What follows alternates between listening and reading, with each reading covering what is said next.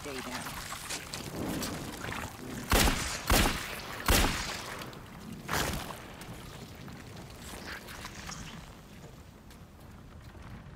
Sweet dreams.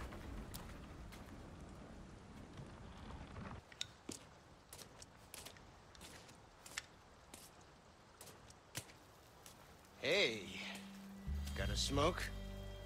I do. The kind you like. Now where's the amber?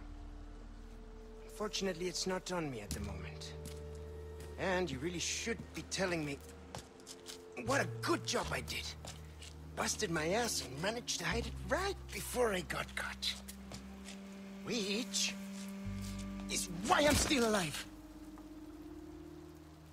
The deal was, we get you out of here when you deliver the amber. No amber, no protection, Luis. Such a stickler for details, huh, Okay, then. I'll go get it now. How about that?